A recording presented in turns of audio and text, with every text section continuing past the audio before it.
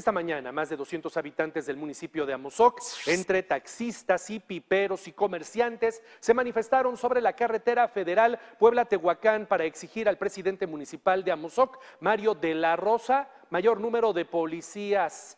Denunciaron que en los últimos meses han sufrido más de 30 asaltos a mano armada a transeúntes y locatarios. Además, les han robado 15 pipas de agua y 12 unidades de taxi. En respuesta, Mario de la Rosa informó que los próximos días sumará 17 policías más. Y es que la gente está muy molesta en Amozoc porque lo que se ha contratado Mario de la Rosa, otro alcalde que tiene de cabeza a su municipio, es a personal administrativo. Es decir, contrate, contrata personal administrativo, pero lo que hace falta realmente son policías y bueno, pues hasta este momento no los ha contratado. Hoy que la gente se le levantó a Mario de la Rosa fue cuando dijo que ya vienen, ya vienen 45 policías más.